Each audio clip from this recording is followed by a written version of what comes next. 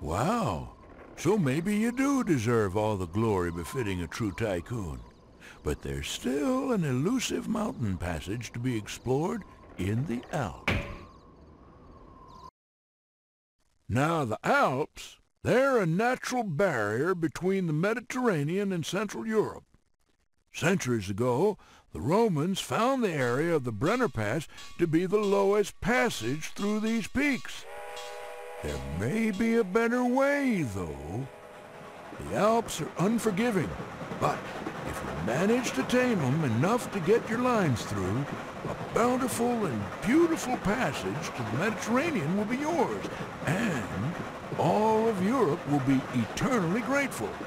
Oh, by the way, bring your earmuffs and your mittens.